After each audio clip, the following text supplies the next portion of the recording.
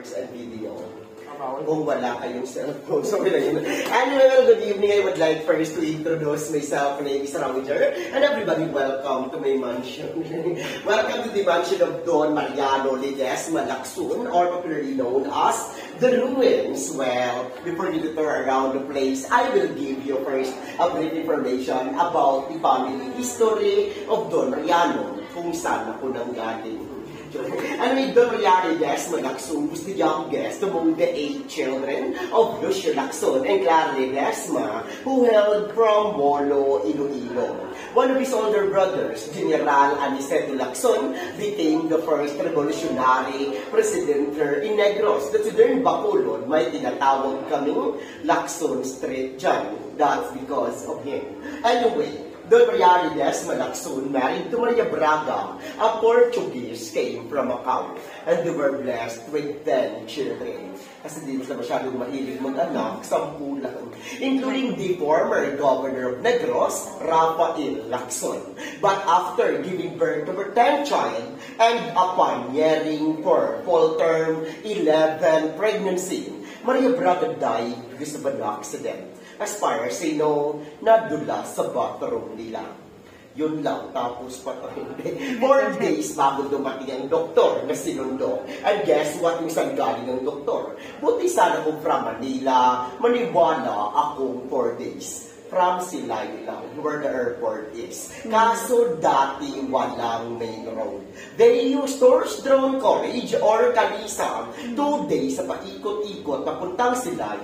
Two days pabalik dito. Kung gano'ng katagal ang doktor, pagdating niya, obviously, patay na si Maria Braga kasama ang anak na dinadala niya. But don't be sad Don Mariano married again to Concepcion Diaz, a Filipina from Talisay. Hindi pala kundi sa sampo, dinugtungan pa ng tatlo. So all in all, Mariano had 13 children. Out of 13, ang youngest second wife, recently lang namatay wag niyo tingnan Cecilia Lacson Misa. She passed away last September 7 of 2011 at the age of 93 years old. It means wala na siyang anak na buhay pagkakataon ko nang makuha. ano si Don Mariano, isa sa nagmamayari ng pinakamalawak na sugarcane plantation dito. And specifically, it's 440 hectares. But then, dinivide niya yon sa sampu niyang anak, hindi kasama ang tatlo. Bakit? May mga Yun, that time kasi ang pinaprioritize lang daw is the first family. So yung sampu na naghati-hati, to be fair, drinulats or nagbunutan lang sila. This mansion went to Mercedes Lacson, but she married to Manuel Havillana from Haro, Iloilo. And guess what? Nakaanak din sila ng labing dalawa. Of course, walang TV noon. Walang ibang libang. ang labing dalawa na yon, hinatira nila ang 44 hectares na Mercedes at the same way by lottery again. Sabi ko, habang palayo ang generation, paliit na ng paliit ang properties. Now, ang natira na lang is only 3.6 hectares kasama the mansion, Huerto Ramon, Havillana ipatay na rin siya. Isa sa mga anak ni Ramon ang naka-idea na i-develop a place and that is Mr. Raymond Havillana. It means this already owned by the Havillana family, managed by Mr. Raymond Havillana. Kaso wala siya dito ngayon, ako muna, mamaya, mamaya pagbalik ni siya. ano yung pinag-develop ng Tio Place? Last May of 2007, then by January 2008, inopen na sa public as tourist attraction. Bago lang, 14 years pa lamang kaming open sa public, but this mansion was built in 1920. So bibilangin natin, this is already a 102 years old mansion. But after 20 years silang tirahan noon, in 1942, that's in early part of World War II, Japanese-American War. Plinano ng mga Hapon na gamitin nilang headquarters or garrison ng bahay na to. Pero naunahan ng mga Amerikano. Pagdating ng mga Amerikano, in-instruct sa mga Pilipino na lahat ng bahay na pwedeng magamit ng hapon, sunugin. So ang mansyon din doon, Mariano, isa sa mga sinunog nila. It means sinunog nila to intentionally with consent of the family for the sake na hindi magamit ng mga hapon. Pero you know what? It's a very good idea na sinunog nila. At least, may trabaho ako.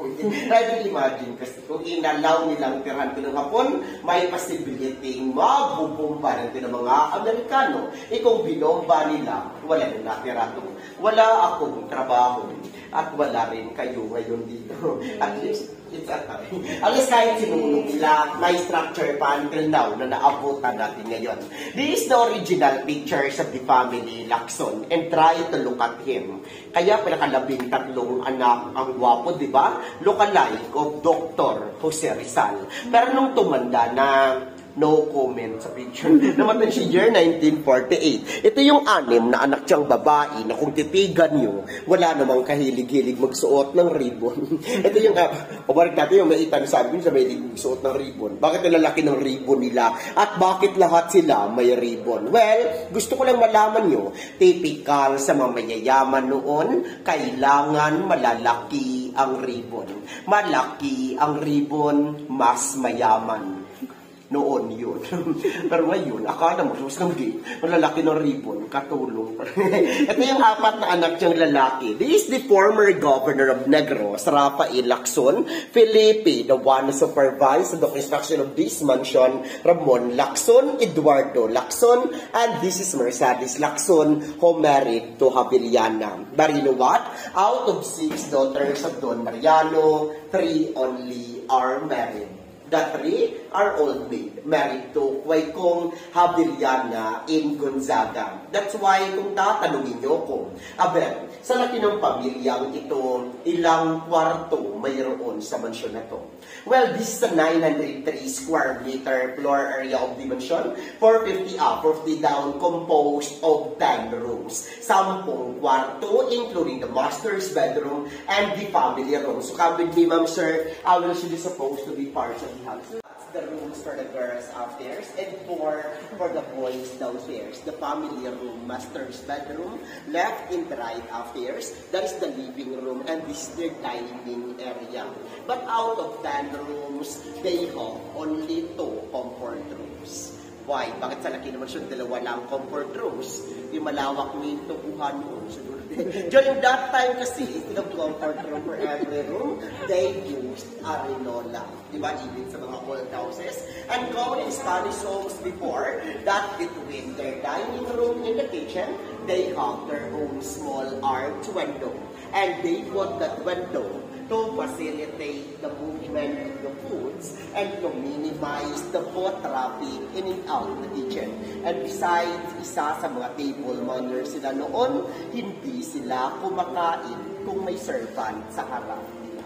Especially kung kamo. Kaya nag-smile. Isa dito kanina, sumimam. Hindi ko pre-intention na tamaan siya.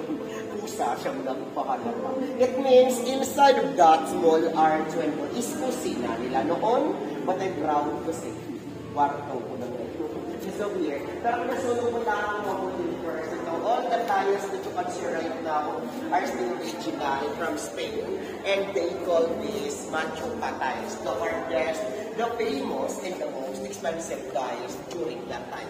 By the way, the mansion has three entrances. The main entrance, the side, and the back entrance. Main entrance is intended for their visitors only. Side is for their children, and back is for their servant. So you are lucky because you pass this entrance. It's a variety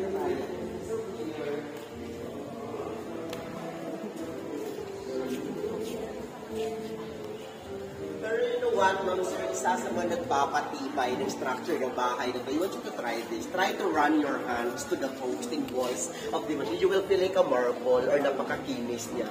Sabi nila, bakit daw ganyan kakinis? Eh, ikaw ba namang araw-araw kung pahawakan mo tayo?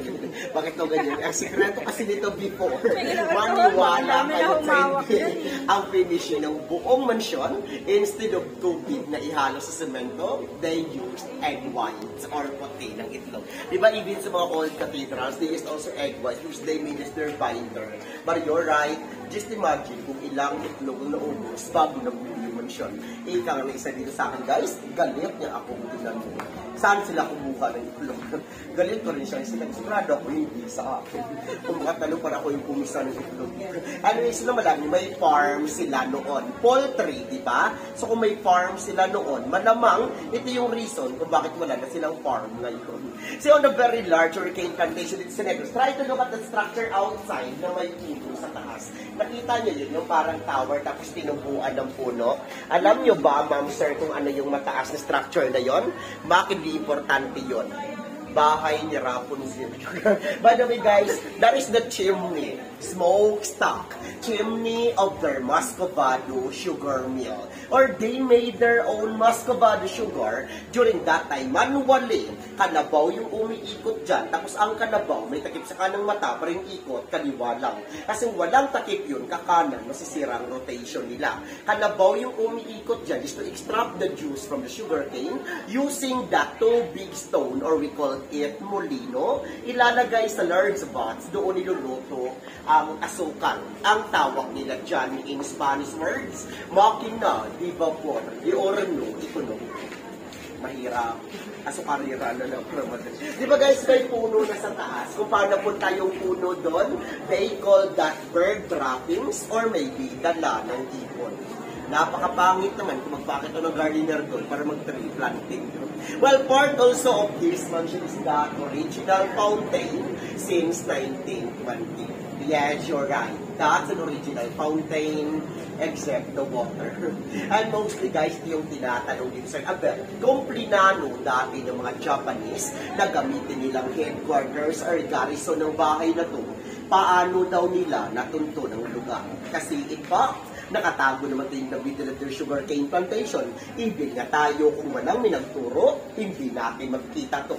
Well, according to their history, huli nang nalaman ng mga Nakson that their gardener were informer of the Japanese. Siya ay nagturo ng place na to, but dito, they did not succeed kasi naunahan ng mga Amerikano. Pinasunog ang bahay, hindi napakinabangan ng mga Hapon. Okay, baling katanungan natin kanina kung bakit labing tatlo ang anak niya, walong kwarto lang dyan. First, hindi nakatira ang tatlo dito sa second family niya. So, 10 lang. Kulang pa rin ang kwarto. May rule siyang binigay sa sampu niyang anak noon na hindi kayo maaaring tumira dito kung may asawa na kayo. Eh yung dalawa married na, kaya walong kwarto yung pinagawa niya.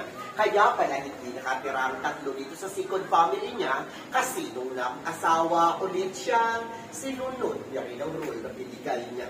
Hindi niya pinatira dito, umalis din siya. Because this mansion was built in honor of his first wife, Maria Braga. Para kay Maria Braga ang bahay na to, but sad to say, hindi rin siya nakatira dito kasi patay na siya nung pinatayo ang mansyon. It means pinatayo to and memory of her. Kaya nga tinawag ang place na to as the Taj Mahal of Negros. It's because of that story. If you are familiar with the story of Taj Mahal in India, similar sila. Ang pagkakaiba lang sa Taj Mahal in India, doon mismo nakalibing ang asawa niya. Dito, hindi nga nakalibing dito, abay, nagpaparamdam. Hindi nga nakalibing yung asawa niya dito. But, he molded their initials in every post of the house. Gusto makita nyo? Di hanap. right to look at the structure design that we can. Yes, guys, what letter E you see? It looks like letter E, but this is not letter E. In fact, these are two M's facing each other. Stands for Mariano and Maria. Well, may nagtanong siya na for letter M yan, bakit pinatagilid, hindi na lang pinatayo? Patry pa tayo in, mukha siyang McDonald's. Part of their Italian late architecture. And besides, makikita daw natin ang value ng isang bagay kung paghirapan natin titigan. Suggest ko lang, kailangan yung tumagilid para malamang letter M. So that's two M's in reclined positions stands for Mariano and Maria. Well, you know what, ma'am sir, before po to inopen sa public as tourist attraction, gusto ko lang malaman nyo, abandoned lang to for 67 years. Imagine, ginagawang comfort rooms ng mga squatters, tirahan ng mga taong nagtatrabaho sa tubuhan, tali na mga kalabaw nila, kambing, bakang, But because of determination of Mr. Raymond Gavillana, na sabi niya, sa Europe, pinipreserve yung ruins, bakit dito hindi? Sabi niya, okay, I will enter to my very ambitious dream in life. I will transform into a tourist attraction and to give justice to the place. Ano si parang binaboy na to ng tao. Pero you know what? Nakaka-proud lang sabihin sa inyo that even though 14 years pa lamang kaming open sa public as tourist attraction, we are already at rank 12 for the most fascinating ruins, not only here in the Philippines, but around the world. Mm-hmm. And imagine, di ba guys? Imagine kung ilang ruins meron sa buong mundo. For the records ni research ko, there are 12 ruins. Rank 12. More than a thousand ruins meron sa buong mundo. But ingat, rank 12, nakaka-proud sa Pilipino na may isang nasama. And recently, we already awarded or declared by the PICE or Philippines Institute of Civil Engineers as the best landmark in the Philippines. We're also recognized by the UAP or United Architect of the Philippines. Barino guys, nakuha na namin yung mga awards na yan, naabot lang naman namin yan, not only because of us na nagtatrabaho dito, but because of you also. Take note, hindi naman ito magiging best landmark, hindi naman ito magiging best destination kung saan itao dito walang katao-tao. That's because of you yun and we're thankful for that. But before I end this tour, I would like again to introduce myself. My full name is Roger Lacson. But I'm not related in this family because my Lacson is L-A-K. S-O-O-N. I'm just the local version of the family. Maybe kung may-ari nito, apo sa tuhod, ako na ang apo sa ingrown. Alam ko ang ingrown tinatanggal. Pero gusto ko malaman nyo, ang ingrown bumabalik. Tanggalin man nila ako, babalik at babalik ako. And now, part developer ni a souvenir shop in a restaurant over there, guys. I'm inviting you to visit our restaurant because I am planning to burn that. But guys, I will take this opportunity to accommodate questions. Do you have any questions, ma'am sir? Kasi kanina ang dami-dami ng tanong dito. Kuya, anong oras kayo nagsasara? Ito nga, walang pintuan. Kung iba dito, masakit magtanong, no? Kuya, araw-araw ba? May tao dito. Mukha ba akong hayo?